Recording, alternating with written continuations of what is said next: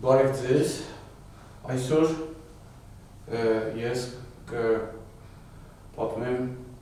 մեր աշնան 2022 թվականի jam session-ների թեմաներից 4-րդ թեման եւ դա իհարկե ինձ շատ սրտամոտ թեմա է։ Այն անվանել եմ խոսակցական լեզու։ Պիտի ասեմ, որ նախորդը պատմություն գիտության վերաբերյալ էր, որը ես չեմ համարում, որ դա իմ մասնագիտությունն է, մինչդեռ լեզվաբանությունը գոնե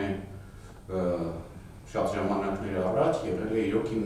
մասնագիտությունը, ես գիտական աստիճան ունեմ լեզվաբանությունից եւ բացի այդ ես արձակագիր եմ եւ ուրեմն լեզվի հետ անընդհատ գործ ունեմ եւ բացի այդ մեր կազմակերպության գործունեության ժամանակ ես անընդհատ լեզվի հետ գործ ունեմ թարգմանելու, խմբագրելու, ընդ որում 3 լեզուների՝ հայերենի, ռուսերենի եւ անգլերենի եւ իհարկե կա խոշոր տարբերություն արցակի գեղարվեստական լեզվի եւ ոչ գեղարվեստական լեզվի միջև, բայց ես այսօր խոսելու եմ լեզվի մասին ընդհանուր առմամբ եւ նախ եւ առաջ խոսակցական լեզվի մասին։ Հիմա կորոշենք, թե դա ինչ է։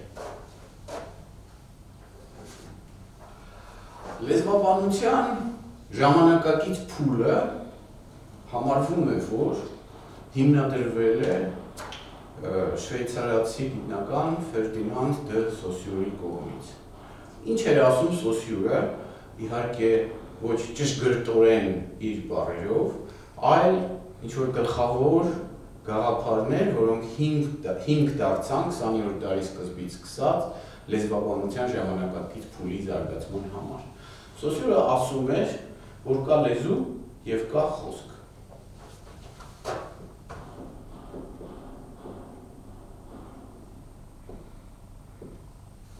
Ինչն էր նա անվանում լեզու։ Լեզու նա անվանում էր այն համակարգը, որը գոյություն ունի մեր կամքից անկախ եւ որը իրենից ներկայացնում է հարացույց, պարադիգմ այսինքն կանոնների, նորմերի համակարգ։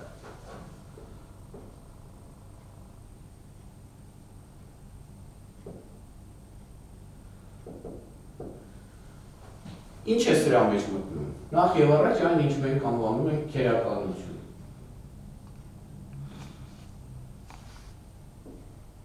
Իսկ ինչ է խոսքը։ Խոսքը դա լեզվի ներկայությունն է, գոյությունն է, ամեն պահին անընդհատ, երբ մենք այն օգտագործում ենք։ Այսինքն խոսքը լեզվի հոսքն է։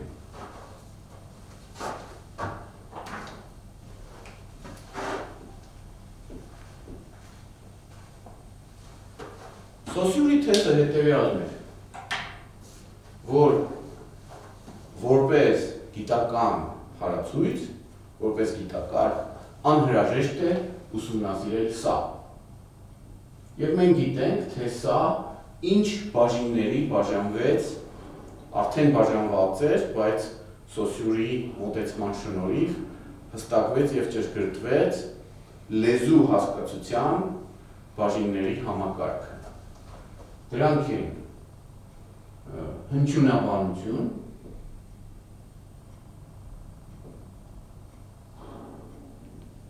բառագիտություն եւ քերականություն իր երկու մասերից բաղկացած։ Ոմանք նաև սա են քերականության մեջ են գրքում, բայց սովորաբար երբ մենք ասում ենք քերականություն, մենք նկատի ունենք ձևաբանությունը եւ շարահյուսությունը։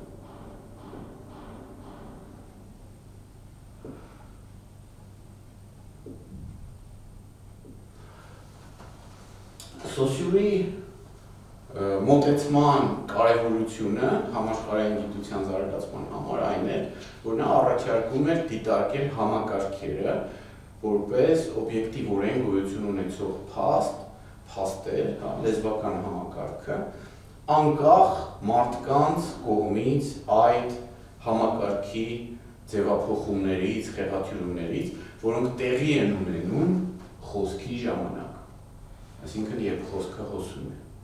Այսպիսով սոսյուրի այս մոտեցումը հարացույցային մոտեցում էր, պարադիգմատիկ մոտեցում էր։ Մենք բազմիցս խոսել ենք ինչ է հարացույցը, ինչ է պարադիգմա, դա այսպիսի բաժինների, կանոնների, համակարգերի արկայությունն է, որոնց միջև կան դատարկ տեղեր։ Բայց դրանք նորմ են, կանոն են, օրենք են։ Իսկ այս ուրեմն հոսքային մասը բնականաբար ժամանակի ընթացքի մեջ է տեղի ունենում։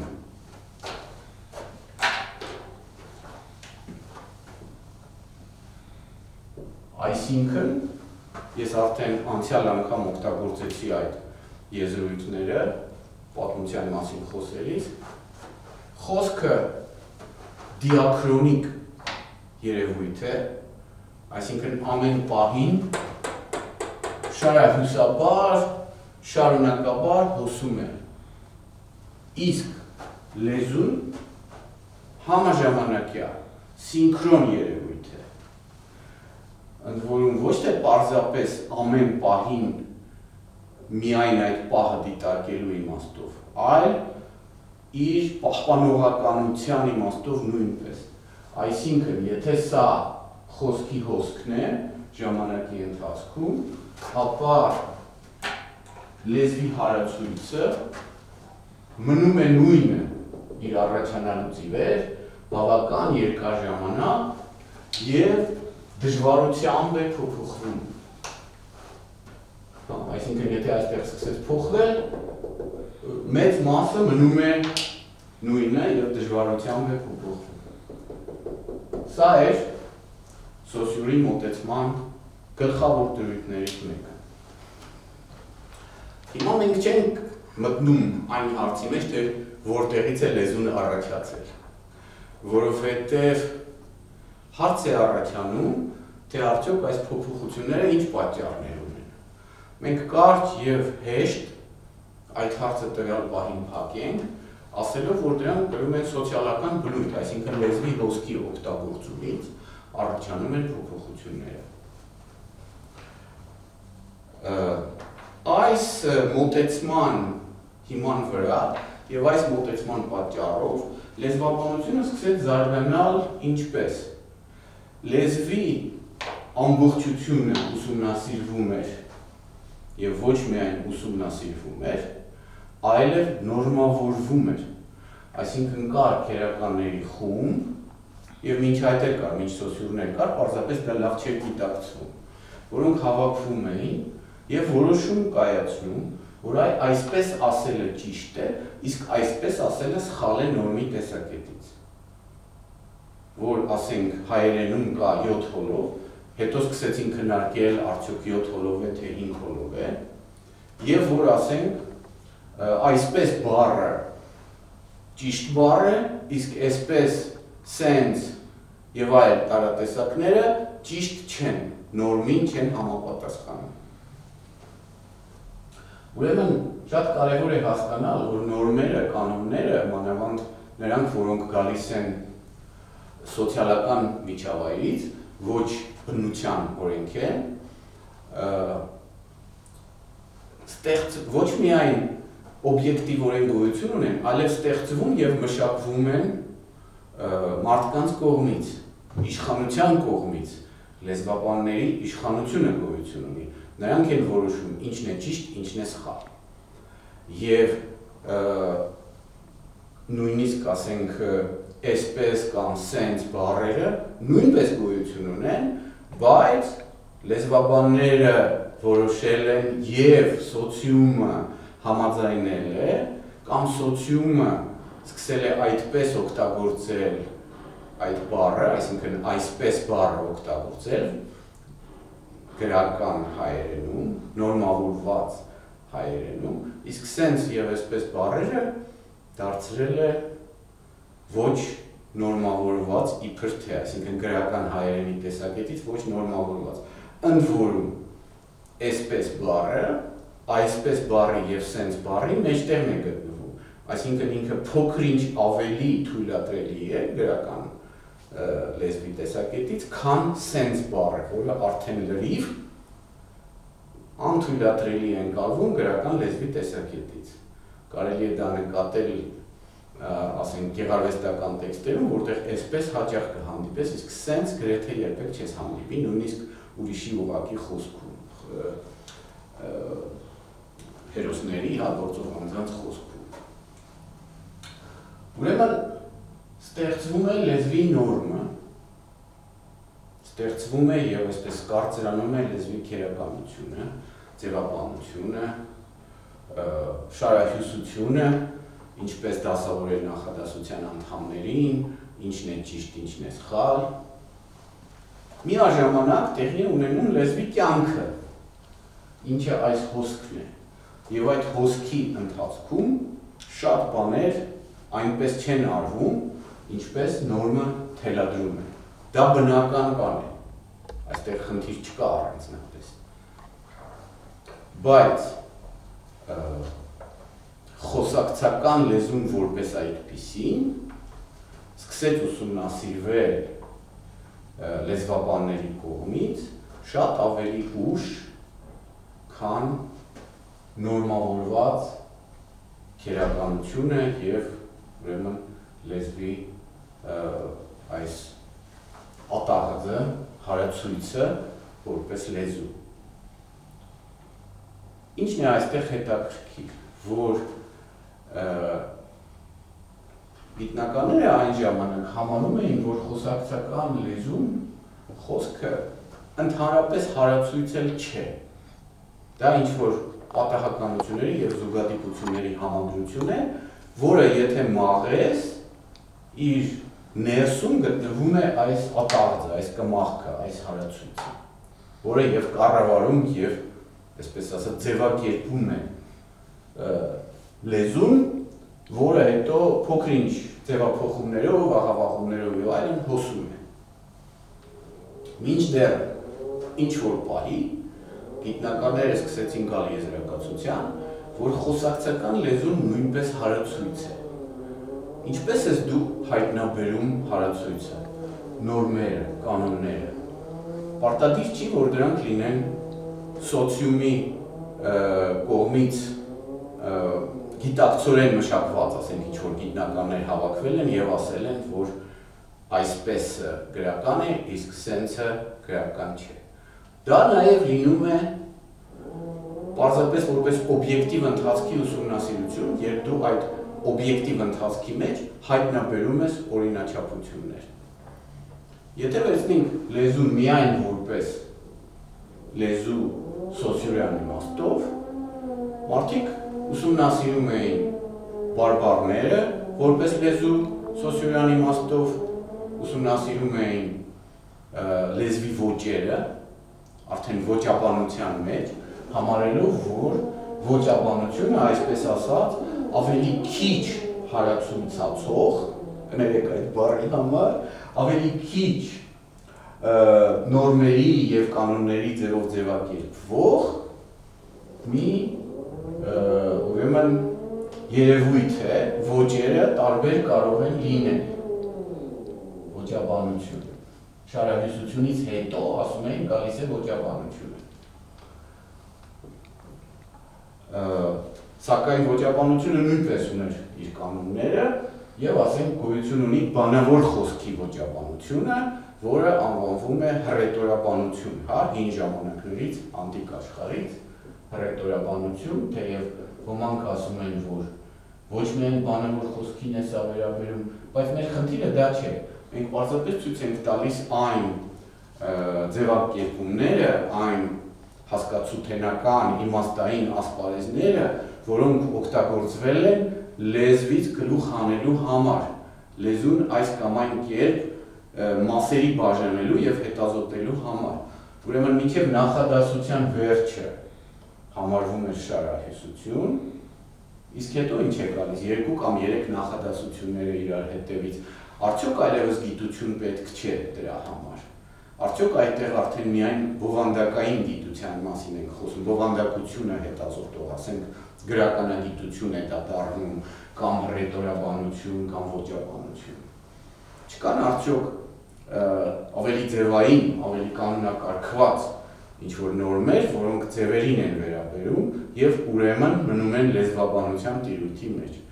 Այդ նպատակով կամ այդ խնդրից առաջացավ, ասենք, արդեն էլի 20-րդ դարում այնպիսի հասկացություն, ինչպես օրինակ տեքստի լեզվաբանություն։ Այսինքն տեքստը իր ողջ անորոշությամբ սկսվեց վերցվել որպես առանձին լեզվաբանական, գիտական ուսումնասիրման առարկա եւ այստեղ խնդիրներ առաջացան, որովհետեւ ո՞րն է իր սահմանը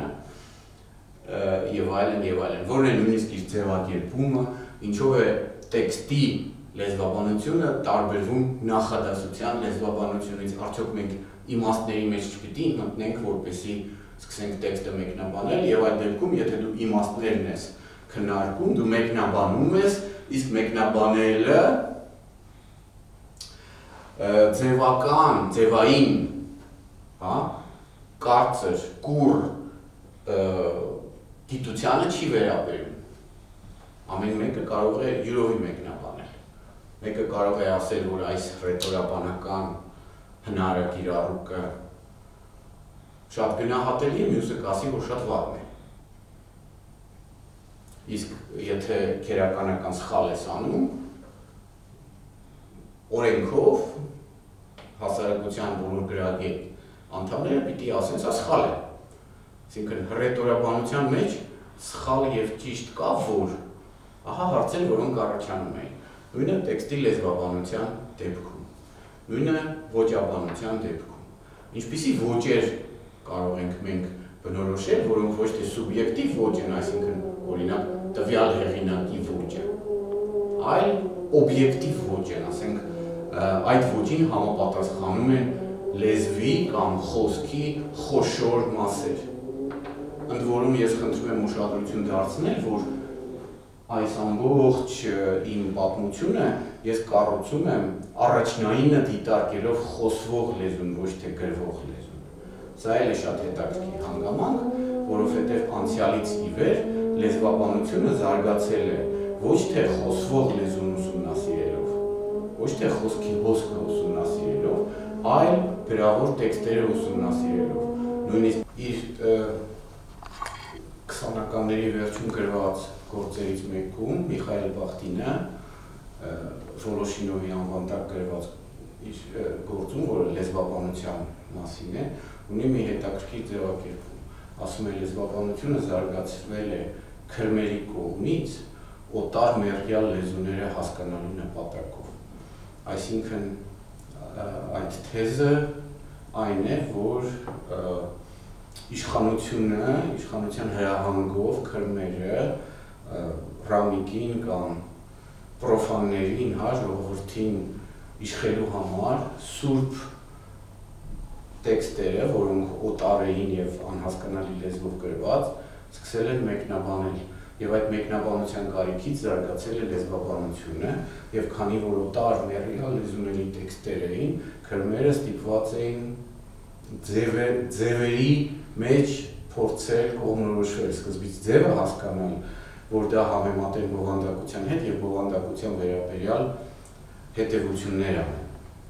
եւ քանի որ ձևը ավելի անմիանշանակ ավելի միանշանակ կերպով է փոխանցվում մարդուց մարդու քան բովանդակությունը լեզվաբանության շեշտը դրվել է ձևի վրա այդ պատճառով էլ այնպիսի ուղություններ ինչպես ասենք ոճաբանությունը կամ ռետորաբանությունը ավելի քիչ գիտություն են համարվել քան ձևաբանությունը հասկանալի պատճառով որովհետև երբ մենք ասում ենք ձև ձն եւ եւը այդ ձևը ձև բառի հասկանալի է բոլորին հեշտ հաղորդվելի, եթե այդ մարդիկ հայերենը գիտեն։ Իսկ թե ինչ բովանդակություն է դրվում ձև բառի մեջ, արդեն երկար քննարկումների հարց է։ Սա հիշեցրեց Հրանտ Մոթեվոսյանի խումհարի մեջ մի նախադասություն, ասում է ձևի, ձևի, ձևի, ձևի ձևը։ Բայց այստեղ կանգ առնենք, մենք խոսում ենք գրավոր եւ բանավոր լեզուների տարբերությունների վերաբերյալ եւ իմ ասածն այն էր, որ այս խոսակցության մեջ ես հենվում եմ բանավոր լեզվի առանձնահատկությունների վրա, ես այդ տեսակետից եմ նայում, թեև գրավոր լեզվին նույնպես անդրադարձ կլինի։ Եվ երբ մենք պիտի ուսումնասիրենք խոսակցական լեզուն, բանավոր լեզուն, խոսքը, լեզվի հոսքը, մենք պիտի դուրս գանք փողոց, սխալ կլինի, եթե ես ինքս իմ բանավոր լեզուն որպես հիմնական նյութ օգտագործեմ, որովհետև ես արդեն իմանալով, որ դա օգտագործելու եմ որպես ուսումնասիրության նյութ, կաղավաղեմ, ինչ որ չափով կհարմարեցնեմ իմ նպատակներին, ուրեմն պիտի օբյեկտիվորեն նյութ հավաքենք, որպեսզի այդ նյութի հիման վրա ուսումնասիրենք, ուրեմն պիտի փողոց դուրս գանք, լսենք ուրիշները ինչ են ասում, գրի առնենք, ընդ որում որոշակի կանոններով, որոնք տարբերվում են սովորական գրավոր լեզվի քերականական կանոններից, հա, սխալները ճուղելով կոպիտ ասած, գրի առնենք այնպես, ինչպես հնչում է։ Եվ ուրեմն գետադրական նշանները որոշակի ձևով օգտագործելով, որպեսի երբ վերընթերցենք, վերարտադրելի լինի տառացիորեն այնպես, ինչպես հնչում է։ Եվ հետո այդ նյութը ուսումնասիրենք։ Եվ ուրեմն այդ վարկածը, քանի որ շատ ուժեղ է եղել եւ այդ վարկածի էությունն այն է, որ գրավոր լեզուն առաջնային է բանավորին, թեև մենք բոլորս հասկանում ենք, որ իրականում ճիշտ հակառակն է, եւ այդ վարկածի հիմքն է սոցիուրի դրույթը, որ քերականությունը նորմ է, իսկ խոսքը, հոսքը անկառավարելի, լեզվի ուսումնասիրությունները շատ ուշ են սկսել անդրադառնալ խոսակցական լեզվի ուսումնասիրություններին։ Եվ նույնիսկ երբ մենք ասում ենք տեքստի լեզվաբանություն, տեքստ ասելով նախ եւ առաջ հասկանում ենք գրավոր տեքստը եւ ճիգ է անհրաժեշտ, որպեսի հասկանանք, որ այս բանավոր խոսքի հոսքը նույնպես տեքստի հատկանիշներ ունի, որովհետև այդտեղ նախադասությունները ակուցվում են միմյանց, ընդ որում հաճախ դա երկխոսական իրադրություն է կամ բազմախոսական իրադրություն է, ուրեմն բազում ռեպլիկներ են միմյանց ագուցվում եւ այսպես հոսում։ Եթե միայն իմ այս պահին արվող գործողության պես մոնոլոգիկ մենախոսական բանավոր տեքստ չէ։ Ընդ որում ուշադրություն դարձեք, որ ես աշխատում եմ խոսել գրական լեզվով, որքան որ հնարավոր է, բայց բանավոր խոսքի խոսքի հոսքի առանձնահատկությունը հենց այն է, որ այստեղ գրական լեզվի բոլոր կանոնները գրեթե անհնարին է պահպանել, եթե իհարկե գրածիցը չես կարդում, դա մեկ, եւ որ այն ունի իր առանձնահատկությունները, դա երկու։ Եվ երբ դա հայտնաբերվեց, սկսեցին բանավոր խոսքը, խոսակցական լեզուն ուսումնասիրել որպես լեզու, այսինքն փնտրել նրա մեջ որոշակի օրինաչափություններ, կանոններ, նորմեր եւ կանոններ ու նորմեր, որոնք ելի եմ ասում, պարտադիր չէ, որ ինչ որ գիտնականների, ինչ որ քրմերի կողմից նախ դիտարկված լինեն, որ լեզվում կան, հետո գրանհատված լինեն, ասելով, որ այս կանոնը ավելի կարևոր է կամ լեզվի օգտագործման այս ձևը ավելի կարևոր է, քան այս մեկը ունի առավելություն առաջինը երկրորդի նկատմամբ Առաջինը ճիշտ է, երկրորդը սխալ։ Առաջինը գրական է, երկրորդը ոչ գրական։ Եվ նույնիսկ երբ ուսումնասիրում են բարբառները, նախ եւ առաջ ուսումնասիրում են, ասենք, դրանց բառամթերքը, ինչով է այն տարբերվում գրական լեզվի բառամթերքից։ Ուսումնասիրում են հնչյունաբանությունը, ինչով է մեկ եւ նույն բառը, որ եւ գրական լեզվում գոյություն ունի եւ բարբառում ինչպես է արտասանվելիս տարբերակվում կամ նույնիսկ գրության մեջ ինչպես է տարբերակվում։ Ուսումնասիրում են, եթե կան ձևաբանական շեղումները, շարահյուսական շեղումները, բայց ուսումնասիրում են բարբառը սոսյուրի իմաստով որպես լեզու, այսինքն որպես գրական լեզվի մաս ուշադրություն դարձնենք նաև այդ բառին, որը օրինակ ֆրանսերենում չկա, երբ սոսյուրը տարբերակում էր լեզուն եւ խոսքը, այստեղ գրական բառը ընդհանրապես չէր օգտագործվում, որովհետև այն լեզուներում, որտեղ լեզուն եւ խոսքը տարբերակվում են առանց գրական բառի միջամտության, գրական լեզուն այլ բան է նշանակում, քան հայերենում։ Հայերենում կա եւ գրաբարը, եւ գրական լեզուն,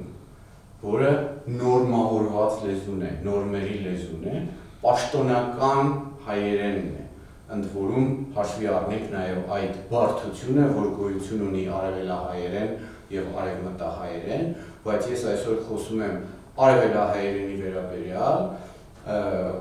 եւ օգտագործելու եմ հայերեն բառը արևելահայերենը նշելու համար։ Ուրեմն ուսումնասիրվում է նախ եւ առաջ լեզուն սոցիալի իմաստով։ Իսկ խոսակցական լեզուն բաց է թողնվում որպես հարացույց։ Դրան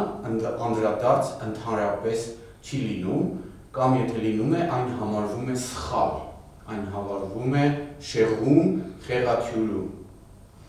Ինչ խնդիրներ է դա ստեղծում։ Օրինակ, երբ խոսակցական լեզուն արտացոլվում է, ասենք, հերոստացույցով, մեդիայում կամ ինչ որ գեղարվեստական տեքստում, շատերի մոտ առաջանում է դրա դեմ ինչ որ կարծիք, որ սա շեղում է։ Եվ փոխանակ հասկանան, որ խոսակցական լեզուն ունի իր իսկ օրինաչափությունները, փոխանակ դա հետազոտվի գիտնականների կողմից եւ բացատրվի հանրությանը, պարզապես խաչ են քաշում վրա, ջնջում են այն, ասելով որ սա պարզապես սխալ լեզու է, տգեղ, տհաճ, եւ այլն եւ այլն։ Բայց խոսակցական լեզուն շատ ավելի ակտիվ երևույթ է, քան գրական լեզուն, որովհետեւ այդ խոսակցականով մենք խոսում ենք անընդհատ։ Բոլորն են խոսում խոսակցականով։ Նույնիսկ երբ դու փորձում ես գրական լեզվով խոսել, բայց խոսում ես, դու խոսում ես խոսակցական լեզվով, պարզապես գրական լեզվի որոշակի հանգամանքները, սկզբունքները, կանոնները օգտագործելով։ Դրանք միմյանցից սահմաններով հստակորեն սահմանազատված չեն։ Լեզուն միասնական է, բայց գրականի օրենքները կամ բուն լեզվի օրենքները սոցիալի իմաստով ներհյուսված են խոսակցական լեզվի հոսքի։ Հայոց լեզվի դեպքում սա առանձնապես դժվար իրադրություն է։ Ես օրինակ կարող եմ այսպես որպես լեզվի լեզու իմացող, հա, ռուսերեն իմացող իմ կարծիքը ասել, որ ռուսերենում խոսակցականը եւ գրականը միմյանցից այդքան շատ չեն տարբերվում։ Համենայն դեպս չէին տարբերվում 30, 40, 50 տարի առաջ։ Հիմա գուցե տարբերությունները սկսում են մեծանալ Թե ինչով դա բացատրել դժվար է ասել։ Կա մի այսպես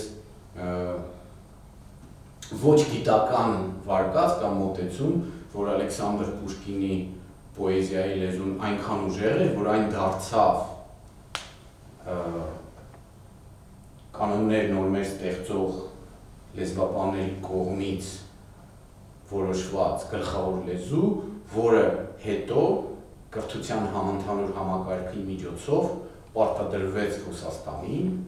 բնակչությանը, ռուսալեզու բոլոր ռուսերեն խոսողներին եւ այդ պատճառով խոսակցականի եւ գրականի միջև տարբերությունները փոքրացան։ Այս առումով կարևոր է նաեւ նշել, որ ռուսերենում նաեւ բարբառային տարբերությունները միմյանցից ավելի քիչ են կամ բարբառի եւ գլխավոր լեզվի, գրական լեզվի տարբերությունները միմյանցից ավելի քիչ են, քան ասենք հայերենում։ Դա էլ բացատրվում է լեռնային եւ տափաստանային տարբերություններով տեղանքների, որ լեռներում մարդիկ ապրում էին ավելի մեկուսացված խմբերով, այդ պատճառով նրանց լեզուների միջև տարբերությունները մեծանում էին։ Իսկ քանի որ Ռուսաստանի տարածքի մեծ մասը հարթավայր է, տափաստան է կամ անտառ է, բայց հարթավայր է, այնտեղ լեզվի հոսքը տեղի էր ունենում ավելի ան խոչընդոտ եւ այդ պատճառով բարբարների միջև տարբերությունները փոքրացել են ժամանակի ընթացքում։ Չգիտեմ, արդյոք դա է պատճառը թե ոչ։ Ես կարող եմ նաև դատել, ասենք, անգլերենի խոսակցականի եւ գրականի միջև եղած տարբերությունների վերաբերյալ ինչ որ դատողություններ անել, բայց այստեղ էլ ասեմ, որ իմ տպավորությամբ անգլերենում հատկապես ամերիկերենի շնորհիվ խոսակցական լեզուն անընդհատ լցվում է գրականի մեջ, գրավորի մեջ։ Գրականը անընդհատ օգտագործում է խոսակցական լեզվի հնարավորությունները իր զարգացման համար։ Ֆրանսերենում նույնպես, եթե հետազոտեի դատողություն անել կկարողանայի, չեմ կարող, բայց նշեմ, ասենք, թեկուզ մի օրինակ, ասենք, գրական ֆրանսերենով 80 բառը թվականը ասվում է կյատխվեն, այսինքն 4 անգամ 20, 4 հատ 20, իսկ խոսակցական ֆրանսերենում ասում են էյտան, ինչպես 80, 8-10։ Ուիտան կներեք,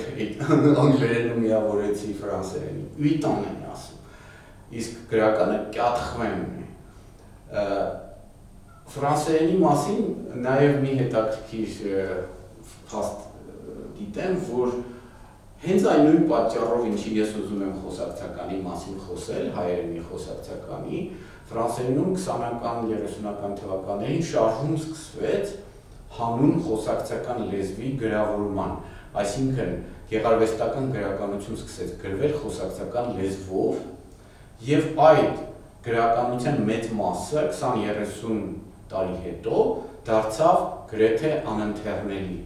որովհետեւ խոսակցական լեզուն հոսք է, նրա օրինաչափությունները անընդհատ փոխվում են, նրանք կարծր չեն, իսկ գրական լեզվի օրինաչափությունները պահպանվում են, պահպանողական են, ավելի կարծր են։ Դրա համար գրական լեզվով գրված ինչ-որ տեքստը ավելի երկար շարունակում է մնալ բոլորին ավելի շատ հասանելի, քան խոսակցականով։ Մենք ունենք դրա փայլուն օրինակը Իդեմոս Խաչատուր Աբովյանի լեզվի։ Խաչատուր Աբովյանի օգտագործած լեզուն քանակյարի բարբառ է համարվում, որը նաև հիմք է հանդիսացել Երևանի բարբառի հետ միասին հայերենի, արևելահայերենի խոսակցական լեզվի եւ նաև գրական լեզվի ձևավորման կարևոր հիմքերից մեկն է եղել։ Բայց այսօր դժվար է կարդացվում շատերի կողմից, որովհետև այդ բարբառային հասկացությունները դժվար են ընկալվում, որոնք խոսակցական էին այն ժամանակ։ Բայց հայերենի հետ կա եւս մի խնդիր։ Այստեղ այդ խնդիրը բավական խորն է եւ ես ելի իմ մանկությանը անդրադառնամ։ Խնդրի էությունն այն է, որ հայերենի խոսակցականը եւ գրականը միմյանցից չափից դուրս շատ են տարբերվում։ Ինչպես ես ասացի, այսպեսը եւ սենսը բավական շատ են տարբերվում եւ ոչ միայն հնչյունափոխությամբ, այլև իրենց ոճական կոնտեքստով, իրենց ոճական հետքով, կոնոտացիայով նրանք տպավորություն են թողնում, որ այսպեսը պաշտոնական է, ոչ միայն գրական է, իսկ սենսը ոչ միայն անպաշտոնական է, այլև արդեն գրեթ, գրեթե անընդունելի դեպի գրեհիկն է գնում։ Ուրեմն դժվար է բացատրել թե ինչու, բայց հայերենում ստեղծվեց այդ վիճակը եւ գրական լեզուն չափից դուրս շատ բաժանվեց խոսակցական ամենօրյա լեզվից։ Կարելի է բացատրություններ փնտրել։ Մի բացատրությունն այն է, որ լեզու օգտագործողները ամեն դեպքում սահմանափակ են եւ գրական լեզու օգտագործողները դրանով գրողները, առավել եւս դրանով խոսողները այսպես ասած գրագետ մարդիկ չափ եւ տավոր, ամեն դեպքում ավելի քիչ են եղել, որովհետեւ հասարակությունն է ավելի փոքր, հա, բնակչությունն է ավելի փոքր, եւ այդ իսկ պատճառով գրական լեզուն այդքան չի մարսել խոսակցական տարրերը, ինչպես ասենք ռուսերենում կամ անգլերենում։ Անգլերենում նաև հիշեցնեմ, որ ամերիկերենի հսկայական ազդեցությունն է եղել որի շնորհիվ նույնիսկ ուղագրությունն է ազդվել, այսինքն անգլերեն ասենք թե light բառը Լուիս մենք գիտենք որ ամերիկերենի ազդեցության տակ ոչ պաշտոնական փաստաթղթերում, բայց գրավորում արդեն հանգիստ կարող է գրվել այսպես light արտասանությունը նույնն է։ Դա նույնպես անգլերենի ամերիկերենի ազդեցությունն է։ Իսկ հայերենում ասենք թե պատճառներից մեկը դա է, որպես վարկած ես նշում եմ, բայց երբ ես շատ երիտասարդ էի, պատանի էի, ես նաև այլ պատճառ էի զգում։ Բանն այն է, որ խորհրդային ժամանակներում ամբողջ պաշտոնական լեզուն գրական էր եւ պաշտոնական խորհրդային սուտը ագուցված էր, ներհյուսված էր, բախյուսված էր գրական լեզվին։ Այդ իսկ պատճառով գրական լեզուն երեսպաշտության տպավորություն էր թողնում։ Խոսակցական լեզուն իրականությունն էր։ Եվ այդ զգացումը ես պահպանեցի դեռ երկար ժամանակ։ Օրինակ, փորձելով լինել ավելի անմիջական իմ գրավոր տեքստերում եւ ավելի համապատասխանել գրական լեզուն օգտագործելով, սակայն համապատասխանել խոսակցականի անկեղծությանը, ես օրինակ երկար տարիներ խոշում էի օգտագործել եւ բառը։ Միշտ եւի փոխարեն գրում էի ու։ Տեսեք, երկուսն էլ լրիվ ընդունելի են եւ գրական լեզվում էլ են ընդունելի։ Սակայն եւը, ճիշտ ինչպես որ սակայնը բայցի համեմատ, ունի ոճական հավելյալ շեշտադրում այն ավելի գրական է, ավելի պաշտոնական է ինչ-որ իմաստով։ Եվ ահա մենք ունենք այդ իրադրությունը, երբ գրական լեզուն շատ իմաստներով որպես ավելի երեսպաշտ լեզու է ընկալվում։ Գուցե մենք դա չենք էլ գիտակցում, իսկ երբ մենք ջատագովում ենք գրական լեզվի օգտագործումը խոսքի մեջ, մենք այսպես քրմի, հա, լեզվաբան քրմի դեր ենք սկսում կատարել եւ կանոններ պարտադրել։ Բայց լեզուն չի ճանաչում կանոններ, լեզուն հոսք է։ Լեզուն ճանաչում է, ինքը ավելի դժվար ու դանդաղ է փոխվում։ Իսկ խոսքը չի ճանաչում, բայց լեզվի կառուցվածքը ի վերջո որոշում է խոսքը, ոչ թե հակառակը։ Այսինքն իշխանական ձևակերպումները, թե ինչպես պիտի լեզուն ասվի, խոսվի, երբեք չեն կարող մրցակցել այն բոլոր աղավաղումների հետ, որոնց լեզուն ենթարկվում է իրական խոսքային իրադրությունների մեջ։ Իսկ մեզանում ստեղծվել է այդ անջրպետը, ասենք ոչ միայն դա հատկապես երևում է ոչ թե միայն խոսակցականում, այլ հենց գրականում, երբ ասում են մի գրիր A, որպես օժանդակ բայ, գրիր E, մի ասա գրի, մի գրիր, գրի, գրիր, գրիր։ Տեսեք, խոսակցականում այդ ռն հաճախ ընկնում է։ Ապրիր, ստուգիր, գրիր, խոսակցականում կասես ապրի, ստուգի, գրի, Եվ դա համարվում է կոպիտ քերականական սխալ, այլ ոչ թե խոսակցականի ներմուծում գրավոր տեքստի մեջ, եթե գրավոր տեքստում է։ Բայց խոսակցականը իր կանոններն ունի։ Այն շատերի կամքից անկախ, եթե միայն հատուկ ճիք չանես, շարունակելու է այդ կանոնները պարտադրել։ Եվ ուրեմն ավելի լավ է հասկանալ գոնե դրանց որոշ մասը եւ տեսնել թե դրանից հետո ինչ ենք ուզում անել այդ խոսակցականի եւ գրականի միջև գոյություն ունեցող անջերպետի հետ։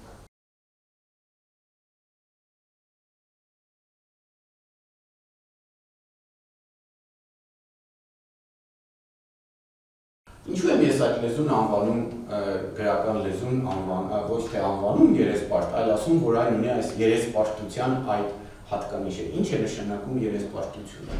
Երեսպաշտությունը նշանակում է ինչ որ արհեստական վարկ, մինչդեռ դու գիտես, թե իրականը ինչպիսին է։ Երեսպաշտությունը չի նշանակում չիմանալ իրականը ինչպիսին է, այլ նշանակում է իմանալ իրականը ինչպիսին է, սակայն ձև թափել, թե դու չգիտես։ Եվ երեսպաշտության պարտադրումը, պարտադրանքը ստեղծում է տհաճ իշխանական պարտադրանք է դառնում, հա, ստեղծում է արհեստական իրադրություն, կեղծ իրադրություն։ Այդ է խնդիրը։ Տեսեք, թե ինչ կապ եմ ես տեսնում լեզվի այդ տարբեր ռեգիստրների միջև։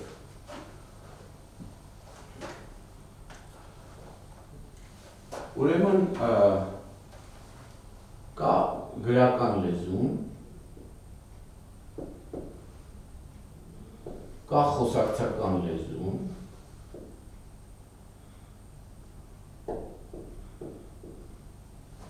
կա ժարգոնը եւ կա այսպես կոչված քրեական լեզուն, գողական լեզուն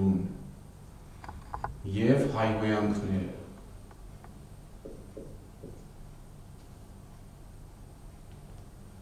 Այսինքն հենց այս պատճառով, ինձ թվում է ոչ միայն ես եմ այս կապերը տեսնում, հենց այս պատճառով համարվում է, որ նրանք, ովքեր խոսակցական լեզվով են խոսում, արդեն ավելի գրեհիկ լեզվով են խոսում ժարգոնի մոտ, խոսակցականը խառնում են ժարգոնների հետ, թեև ժարգոնը կարող է լինել նաև ասենք համակարգչային մասնագետի, հա, ժարգոն հաճախ նույնպես սարսափելի աղավաղված, երբ օրինակ նրանք լեզու չիմանալով անգլերեն տերմինները հայերեն են արտասանում, ասենք ասում են delete-ի փոխարեն ասում են delete անենք։ Բայց գաղափարը դա է, որ սա գրեհիկ արդեն ստոր ցածրացված ժարգոն է եւ ամենա հիմքը այս իրադրության գողական լեզուն է եւ հայհոյանքները, այսինքն ամբողջությամբ այսպես կոչված պարկեշտ հասարակության մեջ անընդունելի լեզու։ Իհարկե, այս մոտեցման մեջ կա բավական հիմք։ Իրոք մենք տեսնում ենք ինչպես խոսակցական լեզվի մեջ ընդգրկվում են ինչպես գողական լեզուն, այդպես էլ հայհոյանքները, ինչպես ժարգոնը, ինչ որ իմաստով դժվար է տարբերակել ինչ կարող ենք ժարգոն անվանել խոսակցական լեզվին համապատասխան օրինակ կարելի է ասել տղայական լեզու այն ավելի ցածրացված կլինի քան խոսակցականը ասենք խոսակցական լեզվում կասես SN կամ նույնիսկ ստեղնդեղ բայց չես ասի արա ապեր եթե Միքայել նայենք, թե դեպի այդ ցածրացումը ինչպես է տեղի ունենում գործընթացը, ապա խոսակցականին ժարգոն կարող ենք գումարել։ Եվ այլն։ Այսպես այս ընթացքը տեղի է ունենում։ Իսկ գրական լեզուն այստեղ այսպես զտիչ ունի եւ այդ բոլոր թերացումները, խեղաթյուրումները, սխալները մի կողմ է տանում եւ զտում է եւ պահպանում է միայն այն ինչ թույլատրելի է եւ քերականական իմաստով եւ այսպես ասած քաղաքավարության տեսակետից ինչ ուժեր են ազդում այլ մենք ասում ենք եթե ուզում ես խոսակցական լեզուն ուսումնասիրել պիտի օրինաչափություններ գտնես պիտի հասկանաս արդյոք դա լեզու է թե դա իրոք անկառավարելի հոսք է ընդհանրապես բայց հնարավոր չէ դա հոսք է որի մեջ կա լեզվի ամբողջ համակարգը որը շեղումների է ենթարկվում, բայց բացի դրանից այդ խոսքի մեջ կան նաև հավելյալ առանձնահատկություններ, հավելյալ օրինաչափություններ, որոնք չկան լեզվի համակարգում եւ գրական լեզվում։ Ինչ ուժերի է ենթարկվում, որ ինչ օրինաչափություններ ձեռք բերի խոսակցական լեզուն։ Գլխավոր երկու ուժերը կոչվում են սեղմում եւ ընդլայնում։ Տեսեք, վերցնենք մի որևէ խոսակցական լեզվի արտահայտություն։ Ասենք ապե այդ շլաբավոնի մոտ կայնի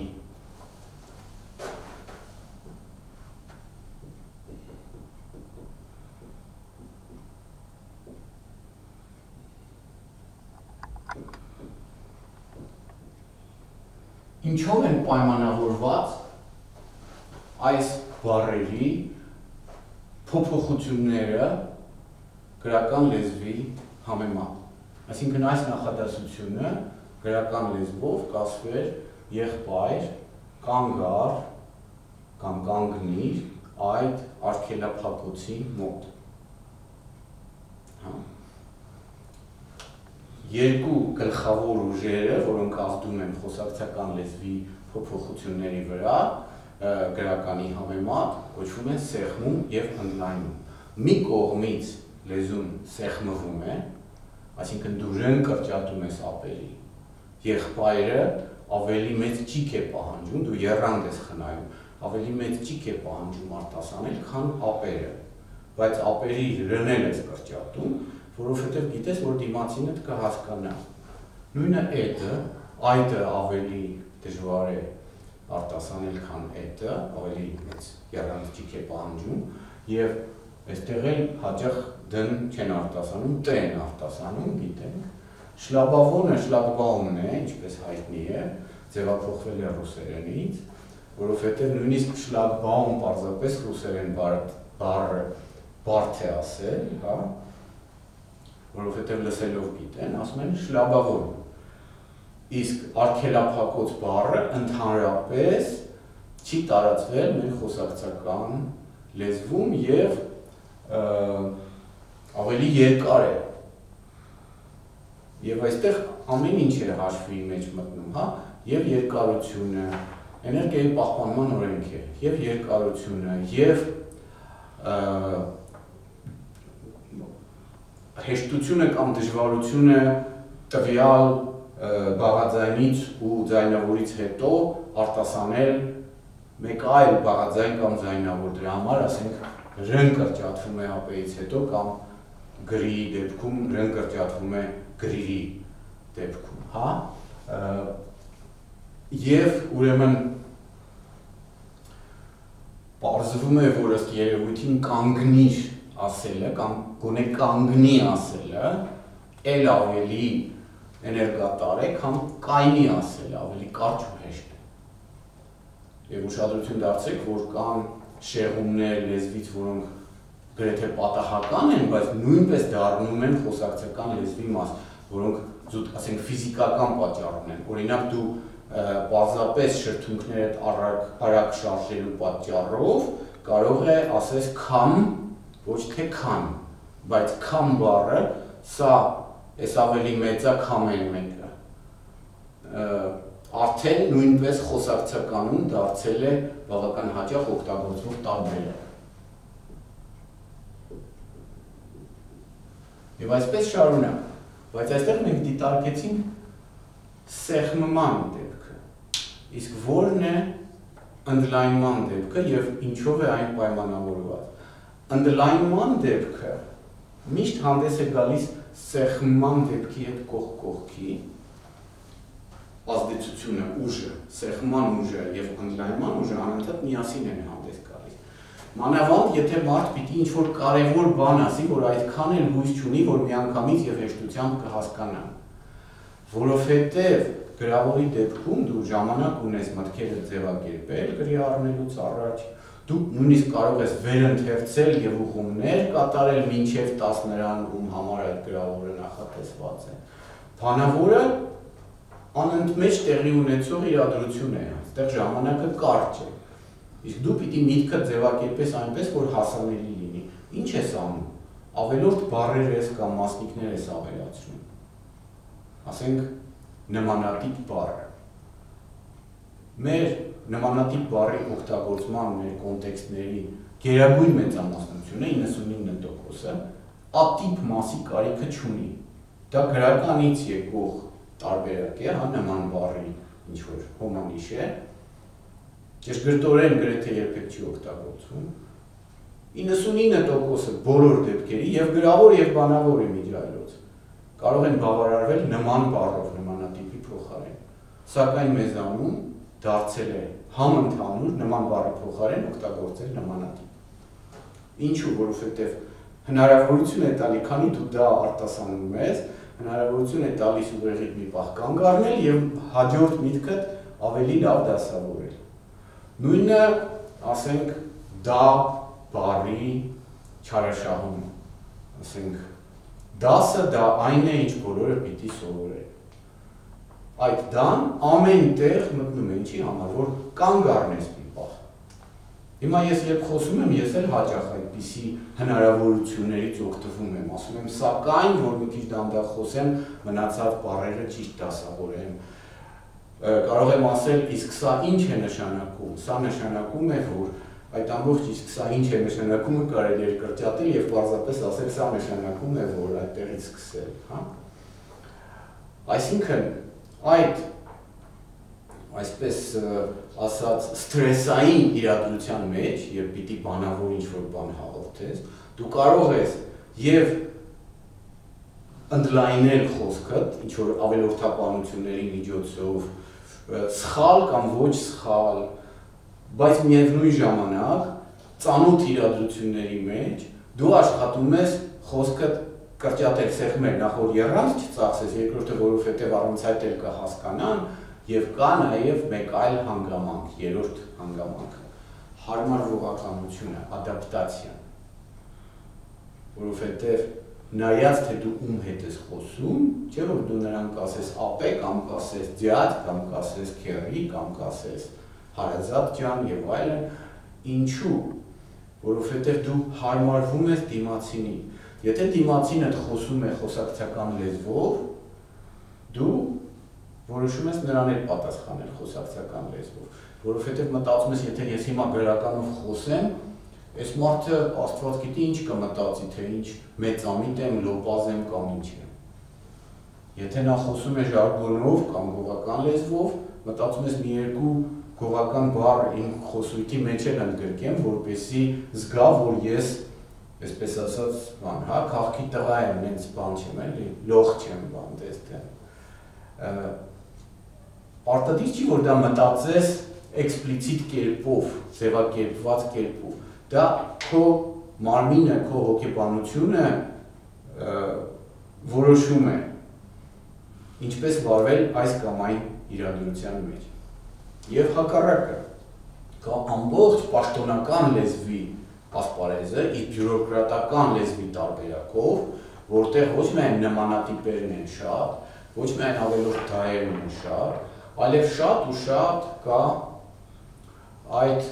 խճողված լեզուն, որը իբր գրական է, բայց իմաստներն են այնտեղ դժվար եւ խճողված եւ ուրեմն ասելիքն էլ եւ հատուկ դժվարացած է, ինչպես օրինակ իրավաբանական լեզվի շատ ձևակերպումներ։ Այդ մասին էլ առանձին քննարկում կարելի է կազմակերպել, հիմա չխոսենք շատ բյուրոկրատական լեզվի մասին, բայց ինչն է դրա առանձնահատկությունը, որ ինչպես ես ասացի, որ գրական լեզուն մի կողմից երեսպաշտ է մյուս կողմից իշխանական տար ունի իր մեջ, որովհետև ասում է ճիշտը ես եմ։ Ասում է հեղինակությունները, լեզվաբանները, իշխանությունը ասում են, որ ճիշտը ես եմ։ Նույն կերպեր բյուրոկրատական լեզուն չափազանցված շեղումն է գրական լեզվից, հենց այն իմաստով, որ ուզում է ասել իշխը ես եմ, իշխանությունը ես եմ, ինչ կուզեմ կասեմ, ոնց կուզեմ կձևակերպեմ, դժվար եմ ձևակերպում, այսինքն եթե շարունակենք այս ընթացքը կարելի է այսպես զարգացնել, ասել, որ գրական լեզվի հաջորդ փուլը բյուրոկրատական իշխանական լեզուն է,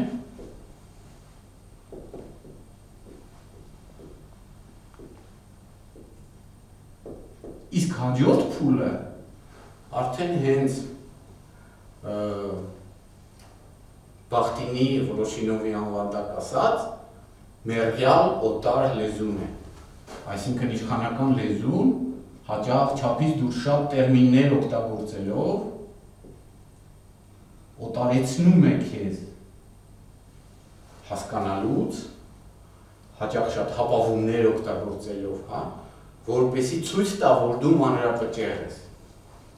որ դու ոչինչ չես նշանակում, ինչ էլ ասենք, պիտի կուլ տաս։ Սա է գրված սեպագիր արցանագրության պես արցանագրված քարի մեջ։ Հա։ Ահա այսպիսի ոճական տարբերակումներ կան, բայց գլխավորը մենք այսօր խոսում ենք խոսակցական լեզվի մասին, որը ոչ թե պարզապես ոչ է, այլ որոշակի առանձնահատկություններ ունեցող բանավոր լեզվի հոսք, լեզվի խոսք, խոսքի հոսք է այն։ Եվ ուրեմն ունի իր օրինաչափությունները, որոնք նախ եւ առաջ սեղմման եւ ընդլայնման ուժերի ազդեցության պատճառով են տեղի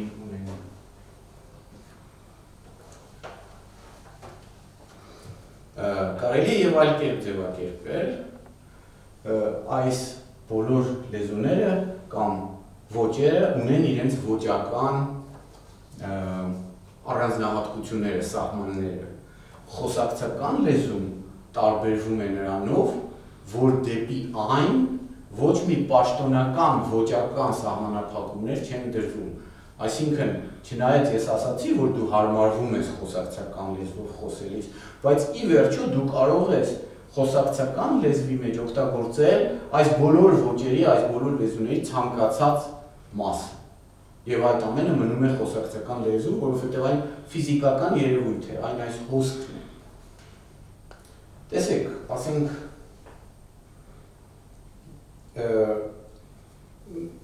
երբ մենք խոսակցական լեզուն ուսումնասիրում ենք, կարող ենք հստակորեն տեսնել, թե ինչ փոփոխություններ է այն պահանջել գրական լեզվի համեմատ։ Ասենք, երբ ես ասում եմ գրիր ասելու փոխարեն ասում են գրի, կամ կրկնիր ասելու փոխարեն ասում են կրկնի, դա ձևաբանական փոփոխություն է։ Երբ ես ասում եմ, ասենք թե արտասանության փոփոխությունը այդ, այդ, սա, այս, այս, այսպես, այդպես, այդպես, sense, tense։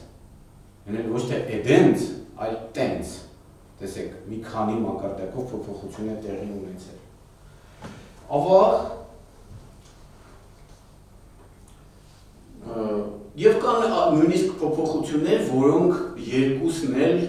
գրականում կան։ Օրինակ, մարդիկ հաճախ համարում են, որ ափսոսալը գրական է, իսկ ափսոսելը ավելի խոսակցական է։ Ինչով բացատրել ափսոսելի ու առաջանալը, մանավանդ որ դա կարծես հակասում է իմ այն դրույթին, որ ձայնավորները այնպես են ձգտում դասավորվել խոսակցականում, որ քիչ էներգիա ծախսվի, չէ՞ որ ափսոսել ավելի շատ էներգիա է ծախսում թվում է թե։ Բայց այստեղ մարդու մտածողությունն է, նա գիտի, որ հիմնականում եթե ինչ որ մի բառից բաղկացած բայ է, այդ բայը էլ վերջավորությունն է ձեռք բերում, ոչ թե ալ վերջավորությունը, հա։ Եվ ուրեմն կարծում եմ, որ այդ դեպքն է եւ ափսոսալը ու ափսոսելը հավասարազոր են դարձել եւ փաստորեն ափսոսելը մտել է նաեւ արդեն գրական լեզվի մեջ։ Իսկ չի մտել, ասենք քելլեն։ Քելլը գնացինք իմաստով, հա, քայլել բառի բարբարայինը դարձել է խոսակցական մանավանդ այսպես հա դեռահասների տղաների լեզվի մեջ շատ տարածված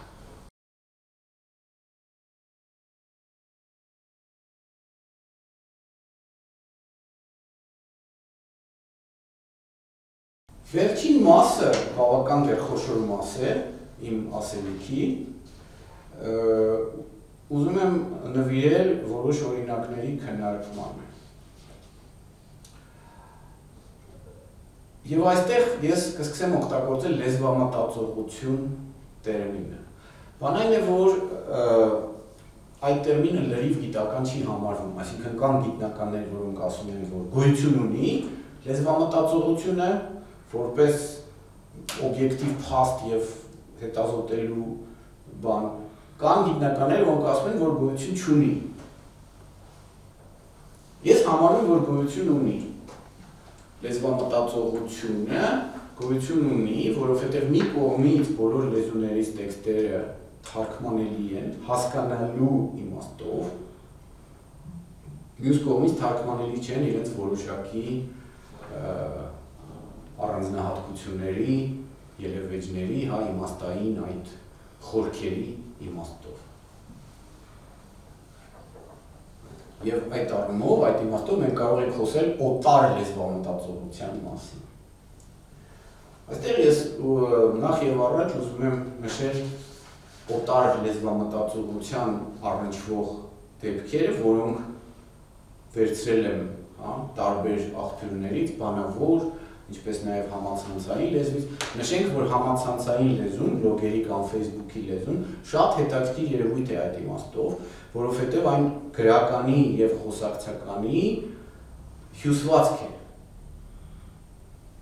Այստեղ գրական լեզվի բոլոր կանոններին բոլորը չեն հետևում, շատ քչերն են հետևում, իսկ միևնույն ժամանակ սա գրավոր լեզու է, ուրեմն ստիպված գրական լեզվի մի շարք կանոններ իր մեջ ընդգրկած ունի եւ այդպես դա դառնում է այդպիսի էկլեկտիկ հյուսք, որը շատ հետաքրքիր է ուսումնասիրել։ Չնայած էլի, եթե ուզում ես իրական խոսակցականը ուսումնասիրել, պետք է բանավորը ձայնագրել, գրի առնել եւ ուսումնասիրել բայց ասենք Facebook-յան լեզուն առանձին ուսումնասիրման առարկա է, դա էլ կարելի է առանձին քննարկել։ Հիմա ինչ օրինակներ եմ ես հավաքագրել, որոնց վերաբերյալ ուզում էի մի քանի խոսք ասել։ Մեկը Սրանք բոլորը վերաբերում են քիչ թե շատ օտար կամ խնդրահարույց լեզվամտածողությանը։ Մեկը տրական հոլովի հետ կապված, ասենք վերցնենք ինձ բառով, ինձ ինձ հատուկ է։ Սա ռուսերենից է գալիս, հա мне присуще։ Այս բոլոր օրինակները գերագույն մեծամասնությունը ռուսերեն լեզվամտածողության ներթափանցումն է հայերեն հայերենի մեջ։ Ինչով է պայմանավորված ռուսերենի հսկայական հոսքով, որի մեջ այս ժողովուրդը թաղված է եղել արդեն երկու դար եւ մանավանդ մեդիայի գալով եւ խորհրդային միության շնորհիվ ել ավելի է թաղվել, իսկ հետո արդեն գաստարբայտերների, հա, միգրանտների 2 միլիոն հայերի շնորհիվ, որոնք Ռուսաստանում էին, ել ավելի է թաղվել։ Չնայած այն ուժեղ հնարավորությանը, որ հայոց լեզուն ստացավ շնորհիվ անկախության, բայց ավաղ այն քիչ զարգացավ, որովհետև քրմերին շատ փող չտրվեց, որ նրանք կանոնակարգեն, նոր բառարաններ քիչ են ստեղծվել եւ այլն, եւ ընդհանրապես այդ լեզվաբանական գործ շատ քիչ է կատարվում, ասենք խոսակցական լեզվի ուսումնասիրություն միակը, որ ես գիտեմ, վերջին անգամ լույս է տեսել 1983 թվականին, կոչվում է ժամանակակից հայերեն խոսակցական լեզու։ Չնայած այդ հնարավորություններին հայոց լեզուն շատ ու շատ իր հարցերը չլուծեց, չնայած հարստացավ, որովհետև արևմտահայերենի եւ արևելահայերենի միջև անջրպետը անհետացավ, գրագրությունը սկսեց հայերեն լինել ավելի շատ իրավաբանական լեզուն, քաղաքական հռետորաբանությունը զարգացավ եւ այլն եւ այլն, բայց մյուս կողմից ռուսերենի ազդեցությունը չպակասեց։ Եվ այստեղ կա նաեւ ինչ որ իմաստով մի կարևոր հարց, որը ոչ թե պարզապես այդ ուրեմն գաղութատիրական ազդեցության հարցն է, այլև այն, որ շատ հասկացություններ հայոց հարուստ լեզվում արտահայտված չէին, ոչ բանավոր, ոչ գրավոր, գրականության միջոցով էլ արտահայտված չեն եղել։ Շատ ժամանակակից հասկացություններ։ Նրանք առաջանում են, ցակում են այլ մշակույթներում, այլ լեզուներում, եւ հետո պիտի հայոց լեզուն կողմնորոշվի ինչ անել, նրանք նույնությամբ ընդունել, թե գտնել իրենց համարժեքը իր լեզվում եւ այլն եւ այլն։ Եվ դա վերաբերում է ոչ միայն բառերին, այլև ամբողջ արտահայտությունների եւ իրադրությունների։ Ես դրա մասին խոսել եմ հատկապես քննարկելով նամիկին ուներ արտահայտությունը։ Դեռ խոսել եմ խորթային տարիներին, ինչ է դա նշանակում, որ նա սիրուհի ուներ, հա, այսպես ասած, բայց սիրուհի բառը չեն ուզում ասել, նա իսկույն հասկանում ես, որ տղամարդ է, ասում են նա մի կին ուներ, բայց եթե հայերեն նայես, մի քիչ տարօրինակ է, ասում են ինչ է, մուսուլման էր, որ ընդամենը մի կին ուներ, թե ինչ, որովհետև կին բառը հայերենում մի շարք իմաստներ ունի եւ նաեւ ուներ բառն է դժվար, չէ՞, ունենալ ինչ է նշանակում, մարդուն ունենալ, ստեկատել է ինչ է։ Եվ այլ, այսինքն ունի ոբլա դաժենշինա ռուսերենից վերցված կալկա է, բայց բանն այն է, որ հայերենում այդ իրադրությունները եւ կարող են զույգերը առանց ամուսնանալու միասին ապրել, շատ զարգացած չեն եղել լեզվի մեջ արտահայտվելու իմաստով։ Եվ ահա մենք ունենք նաև այդ դրական հորովի հարցը։ Ինչ հատուկ է, միե պրիսուշի։ Ինչ սпасում է այսինչ բանը։ Ինչ հարմար է։ Мне удобно։ Ես ինձ վատ եմ զգում։ Նույնիսկ դա թվում է թե շատ տարածված արտահայտությունը ունի այդ շեղումը հայերեն լեզվամտածողությունից, չէ՞ ավելի բնական կլիներ պարզապես ասել վատ եմ զգում։ Պարզ է, որ ինքդ քեզ ես վատը զգում, ոչ թե ուրիշին ես վատը զգում։ Կարող ես դու ուրիշին վատը զգալ, չես կարող։ Ինչ պետք է, օրինակ Facebook-ում կա այդ հայտնի խումբը, ինչ պետք է, այս ինչ բան է Ինձ պետք է, այստեղ ինձը էլի հավելում է, դրա կարիքը չկա, երբ ասում ես պետք է, կոնտեքստների գերագույն մեծամասնության դեպքում հասկանալի է, որ խոսքը քո մասին է, քեզ է պետք։ Ինձ միայն մի բան է հետաքրքրում, եւ սրա, ասենք, խոսակցականը շատ տարածված է, չէ՞, ինձ մենակ մի բան է հետաքրքրում ախպեր։ Նրան անհնարին է մերժել այս տրական հոլովի սխալ օգտագործումը շատ տարածված է նաև այլ բառերի դեպքում եւ գոյականների եւ այլ դերանունների։ Նրան հեշտ է ասել կամ ժյուրին դժվար աշխատանք է սպասվում։ Հա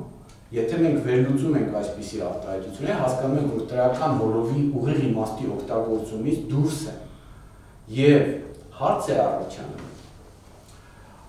Այսպիսի արտահայտությունները այնքան են տարածվել լեզվի մեջ, որ գուցեև ինչ որ պահի կանոնակարգվել, այսինքն նրանք կան արդեն գրական լեզվի մեջ նույնպես, եւ գրավոր եւ ուրեմն գեղարվեստական լեզվի մեջ եւ ոչ գեղարվեստական գրավորում, ուրեմն գուցե եւ ինչ որ պահի մենք դադարենք այդ օտարան օտարությունը զգալ, որովհետեւ մեծ մասամբ չենք էլ զգում, հա օգտագործում ենք այդ արտահայտությունները, բայց առայժմ դրանք բավական խորթ են հայերենի լեզվամտածողությանը։ Ամեն անգամ, երբ այդպիսի դեպք եմ ես հայտնաբերում, սկսում եմ մտածել, իսկ ինչպես այն կարելի է փոխել։ Նույն խնդիրը գոյություն ունի նաև մի շարք կապերի դեպքում։ Ինձ, գներեք, մոտ, համար, հետ, հատկապես այդ կապերը, մոտ, իմ մոտ, կամ նույնիսկ ինձ մոտ, Թումանյանի մոտ, նրա մոտ։ Մոտը նշանակում է մոտերքում, չէ՞ որ ասում ես Թումանյանի մոտ էս ինչ քարատողը կա։ Ինչ է նշանակում Թումանյանի մոտերքում է դա։ Կամ իմ մոտ այսօր վատ տպավորություն է, վատ տրամադրություն է։ Քո մոտերքում վատ տրամադրություն է։ Ժողովրդի մոտ պիտի զարգացած լինի հպարտության զգացումը։ Այս բոլոր դեպքերը իրականում ավելի ճշգրիտ կերպով ձևակերպվելու համար պետք է մտածել ինչպես դա վերափոխել։ Դա այդքան էլ հեշտ բան չէ։ Եվ ինչու են դրանք էլի այդ ու մինյա, չէ, ռուսերենինն է դա։ Ինչու են այդքան հեշտությամբ մտել, որովհետև այս մտքի այս ձևակերպումները եւ սեղման խնդրին են պատասխանում հա, այսինքն արագ են ու հեշտ։ Եվ շատ օգտագործելի են, որովհետև կարևոր իրադրություններ են նշում, կարևոր իրադրություններ են արտահայտում։ Համար իմ համար անհասկանալի է, ինձ համար անհասկանալի է։ Համարը նպատակ է ցույց տալիս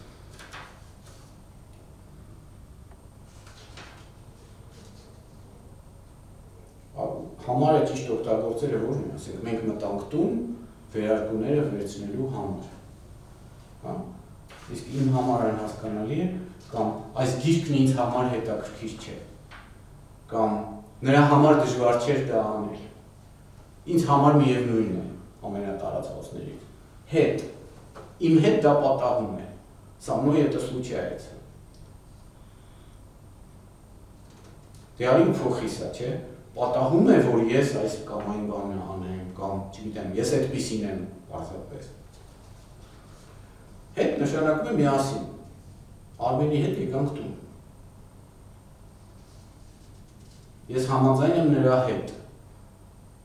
Ինչ որ իմաստով սա ընդունելի է, թեև ավելի լավ կլինի ասել նրան կամ գուցե նրա կարծիքին, նրա ասացին այդ հարցի ձևակերպմանը համաձայն չեմ, ավելի լավ չի ինչու քան այդ հարցի ձևակերպման հետ համաձայն չեմ։ Մեզ հետ կլինի ուրախ եւ հաճելի ռեստորանային ինչ որ արտահայտություն։ Ով կլինի։ Նրան հաճախ են անախորժություններ պատահում, սա նրաններից է։ Այդ խնդրի հետ կապված ասեմ։ Եվ այստեղ երբեմն դժվարություն է ստեղծում, որովհետև իրոք այդպես ասելը ավելի հեշտ եւ արագ է։ Ինձ հետ այդպիսի բաներ մի արա։ Ինձ հետ այդպես մի վարվի։ Երբեմն նաև վրա եւ մեջ կապերն են այդպես օգտագործվում։ Նա կենտրոնացավ այդ խնդրի վրա։ Շատ ժամանակ ծախսեց դրա վրա։ Այսինքն վրա ծախսեց, այստեղ խնդիր կա, որովհետև ռուսերենի նա եւ նադ բառերի երկուսի էլ համապատասխան հայերենում մի բառ է վրա եւ դա էլ է որոշակի դժվարություն ստեղծում։ Հույսը դնել ինձ վրա կամ իմ վրա թանկ է նստում բիզնեսի վրա կամ մեջ երբեմն նույնպես խալ է օգտագործում, ասենք թե ամբողջովին իր ծրագրի մեջ է։ Մենք իսկույն ուզում ենք, երբ հայերեն լեզվա մտածողությամբ ենք այս դեպքերին մոտենում, ուզում ենք պատկերացնել, թե ինչ է ասված ուղիղ իմաստով։ Մարդը իր ծրագրի մեջ է։ Հա, սա պատկերավոր արտահայտություն է, բայց он весь в своей работе քանի որ այդ ռուսերենից եկած կալկայի ազդեցությունը կա, հարց է առաջանում։ Էլի եմ ասում, սրանք այն դեպքերը չեն, որոնք ես սկզբունքորեն աներկբայելիորեն սխալ կհամարեի։ Սրանք այն դեպքերն են, երբ խոսակցականից ռուսերենի ազդեցությամբ եկած շատ ու շատ արտահայտություններ եւ կալկաներ փորձում են մուտք գործել ընդունված նորմավորված, կարգավորված, այսպես ասած կանոնակարգված լեզու, որովհետև կարևոր բաներ են, հա, արտահայտում, հնարավորություններ են արտահայտում որոշ բաներ արտահայտելու։ Կարևոր հնարավորություններ են տալիս որոշ բաներ արտահայտելու։ Մի համարցակվեք թերագնահատել։ Սա նույնիսկ պարզապես խալ է, նիսմեից ինի դա ացենիվեց, պիտի գոնե ասեն չհամարցակվեք թերագնահատել, բայց այդ չհամարձակվելքը այդ իմաստով կամ շատ այսպես վերամբարձ գրավոր գրական է կամ էլի ռուսերենից վերծված է հնչում կամ կրկնիր իմ հետևից Պավտայայ զամնույն Սա իմ միջայլուց ես ինքս իմ գրածից եմ որսացել։ Որքան էլ աշխատում եմ խոսապել այսպիսի արտահայտություններից, նույնիսկ իմ գրածներում չեմ կարողանում բոլորից հրաժարվել։ Եվ այլն, հիվանդացավ շաքարախտով հիվանդացավ գրիպով այդ ովը պետք չի դա ռուսերենից է գալիս դա գալիս գրիպան հիվանդացավ շաքարախտ հիվանդացավ գրիպ տղամարդիկ առանձնանում են տակարյունությամբ мужчины отличаются там, я не знаю, горячей, горячей кровью, կամ ձերբակալված մյուս 3 պահեստը շահագործող անձինք։ Այսինքն ձերբակալված պահեստները։ Մյուս 3 պահեստը շահագործող ձերբակալված անձինք։ Այդքան էլ կարևոր չէ։ Не так уж важно. Ամեն ինչ հաջող հանդիպում էր խոստանում։ Всё обещало удачную встречу։ Որքան հնարավոր է Սա գրեթե գրական է, բայց էլի այդ խնդիրը մեջը կա։ Այդքան էլ հեշտ չէ։ Սարսափելի քնել էր ուզում։ Սարսափելի քնել։ Այդ բոլորը լավ։ Всё это ладно։ Ուրախանում ես աների հաջողություններով, թե հաջողություններից, թե պարզապես ուրախանում Եթե այնտեղ գնալ, ավելի ճիշտ կլինի ասել, եթե այնտեղ գրամ կամ գնաս, չէ։ Գրկում եմ ամբողջ սրտով։ I hug you with all my heart, սա է ուծե նաև անգլերենից է գալիս։ Այդպես էլ կիսատ թողեցի, այդպես էլ չարեցի, այս այդպես էլ են նույնպես, так я и это не сделал, նույնպես օտար լեզվամտածողություն է։ Մյուս կողմից կան ռուսերեն արտահայտություններ, որոնք արդեն ռուսերենից գուցե եկած, հա, որոնք արդեն գրեթե այդպես ասացվածքային իմաստով արդեն ընդգրկվել են։ Այսինքն կան, ասենք, ծիծաղելի արտահայտություններ, ասենք, ես նրա բերանը մատս չեմ դնի, բայց կան նաև գրեթե ընդունելի արտահայտություններ եւ շատ լավ է, երբ դրանք հայերենում գրեթե նույն իմաստն արտահայտում։ Օրինակ իմ կարծիքով դա անելն անհրաժեշտ էր օթու ջրի պես, օթու ջրի պես այստեղ նույնն է ինչ հայերեն եթե լիներ, հակա ոստուխի վատա։ Բայց միշտ էլի խնդրահարույց ինչ որ բան կասենք, Բաղդադում ամեն ինչ հանգիստ է։ Ամեն ինչ հանգիստ է։ Ամեն ամեն ինչ այդ անհարկի ընդհանրացումներ, որ ռուսերեն խոսակցական, այդ արտահայտություններից եկել են հայերենի մեջ կամ անգլերենում էլ կարող են լինել եւ գալ հայերենի մեջ, հայերեն լեզվամտածողության հետ խնդիրներ են առաջացնում։ Կամ ասենք ձեռքերը կապված են, նրա ձեռքերը կապված են, ունի ռուկի սվիազան։ Հիմա անցնենք այն դեպքերին, որոնք իմ կարծիքով ինչ որ դրական բան են պարունակում, եւ այս դեպքերը ես քաղել եմ Անահիտ մուլտֆիլմի վերաբերյալ լեզվի կոմիտեի քննադատական հոդվածից, այսինքն ես բուն մուլտֆիլմը չեմ էլ նայել, այսինքն դրա գեղարվեստական արժանանքների մասին ոչինչ ասել չեմ կարող, բայց լեզվի կոմիտեն որոշ ժամանակ անց քննադատել էր Անահիտ մուլտֆիլմի լեզուն։ Իսկ ես խոսակցականի վերաբերյալ մեր խոսակցության կոնտեքստում այդտեղ որոշակի դրական բաներ եմ տեսնում այդ Անահիտ մուլտֆիլմի լեզվում։ Տեսեք, մի արտահայտություն ասում է ինչ կա որ սյուրպրիզ է Ну, սյուրպրիզը թե անակնկալը դա մի կողմ, էլի ռուսերեն բառերի օգտագործումը գիտենք համատարած է մեր խոսակցականում, բայց ինչ կա որ արտահայտությունը, որը իհարկե շատ խոսակցական արտահայտություն է, իր մեջ ոչինչ չունի, որ արկել է, որ նա գրական է լինի, այսինքն կարող է գրավոր լեզվում օգտագործվել, կարող է գեղարվեստական լեզվում օգտագործվել եւ այլն, շատ պատկերավոր արտահայտություն է, ինչ կա որ։ Ես մեռա, իստերիկա, էլի իստերիկան ռուսերենի բառն է, թողնենք, ռուսերեն բառն է, բայց ես մեռա որպես ինչ որ զգացմունքի արտահայտություն խոսակցականից եկող, էլի շատ պատկերավոր է։ Այդ պրակատից աման չամանա այս աման չաման, չգիտեմ, այդ բոլոր ուրեմն կրկնավորումները, հա, իրենք շատ էլի պատկերավոր ուժ ունեն իրենց մեջ։ Գնաց կաշը։ Այստեղ կաշ բառը փաստորեն կամ գողական լեզվից է գալիս կամ ժարգոնով արդեն գողական լեզվի միջոցով ժարգոնի մեջ է մտել եւ խոսակցականի մեջ է մտել ու հլը ուզում ես գնալ մենակով, այստեղ մենք ունենք եւ հլը բառը, որը եթե դարձնենք հալա, նույնիսկ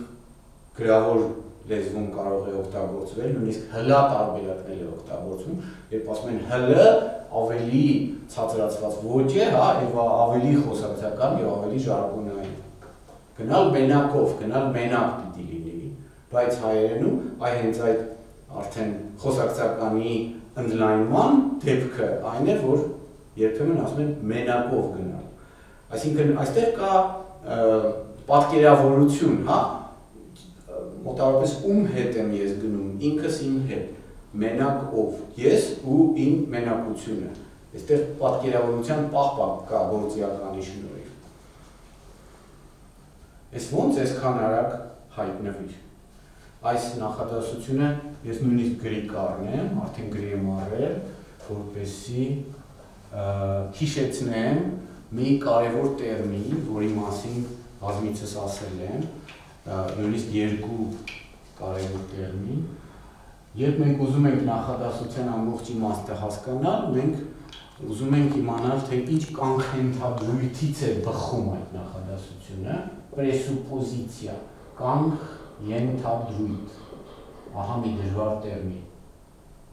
Հա? Եվ ինչ ներ հետևություն է պարունակում, իմպլիկատուրա կամ ներ հետևություն։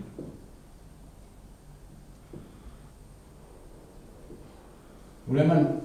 այս նախադասության կանխենթադրույթն է, որ այսինչ մարդը կամ արարածը պիտի ավելի դանդաղ հայտնվեր այս կամ այն պատճառով։ Նա դանդաղ է շարժ է կամ նա շատ հեռու էր գտնվում եւ այլն։ Հա։ Եվ իր կառուցվածքը շատ խոսակցական։ Իր մեջ էլի պարունակում է պատկերավորություն, այստեղ շատ հետաքրքիր պատկերավորություն է։ Ինչն է սրա պատկերավորության հիմքը, որ եթե ինքը ասեր զարմանալի է, որ դու լինելով այդքան դանդաղաշար, հանկարծ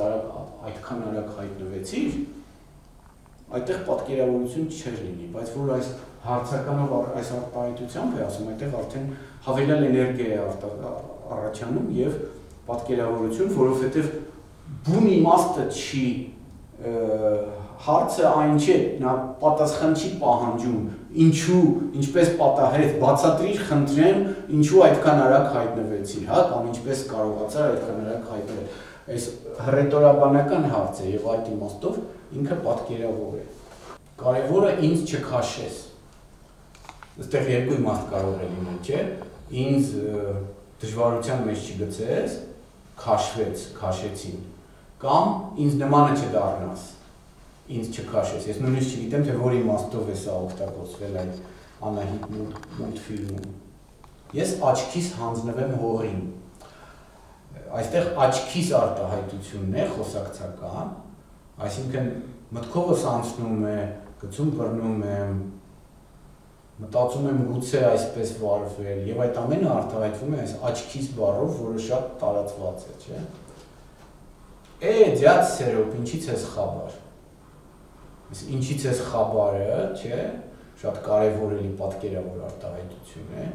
Իսկ ձյաց սերոբում է շատ հետաքրքիր է ձյաձը, որը ճոճը ու ձյաձը շատ խոր հիմք ունեն հայերենի խոսակցականում, հատկապես Երևանյան եւ այն տեղերում, որտեղ բարբարները այդքան տարածված չէին, դժվար է ասել թե ինչ պատճառով, թվում է թե ձյաձը բավական բարդ է արտասանել, բայց մտել է գուցե այն պատճառով, որ քերին հորեղբայրը երկար է, հրոխբերը մեկ է երկար է, քերին ու հորեղբայրը տարբեր են, այսինքն դու ամեն անգամ պիտի գցես բռնեսա դու այս մարդուն ասոցացնում ես մորդ եղբոր հետ թե հորդ եղբոր հետ նույնիսկ ճոճ է, հա, մորակույրը, մորքուրը, բայց գիտեք, որ կան դրանց էլ ավելի աղտյատված աղավաղված ձևերը, մոքուր մաքիր նույնիսկ, հա։ Ասենք մեր դասարանում մի տղա կար, որի մորակույրը ուսուցիչ էր եւ նրան բոլորը այդ տղաների հետները մաքիր էին ասում, մաքիրը եկավ։ Դու ինչ ես կանգնել էլի տեսեք այս հարցական հռետորական արտահայտությունները ինչպիսի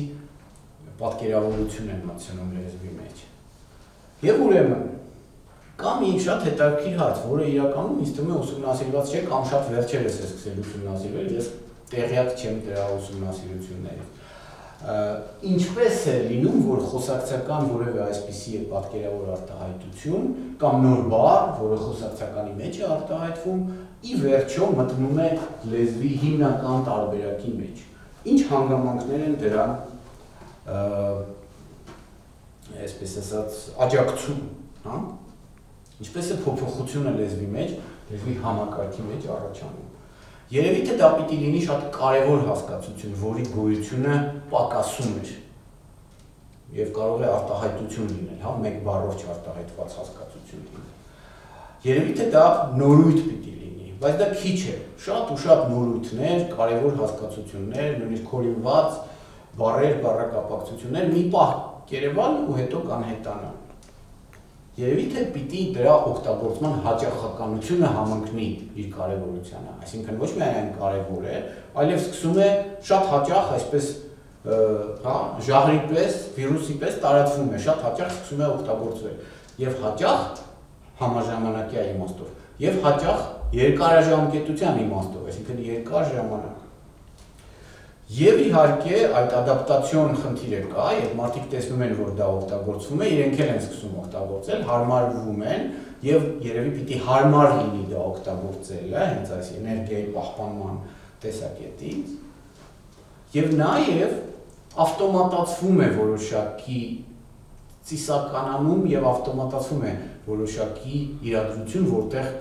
կա որոշակի արտահայտություն, որը որոշակի իրադրությունների է համապատասխանում։ Այդ դյաց սորը դու ինչից ես խաբար արտահայտությունը, դու ինչից ես խաբար,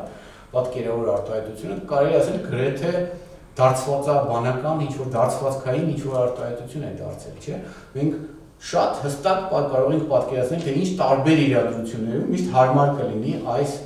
արտահայտությունը օգտագործել։ Ուրեմն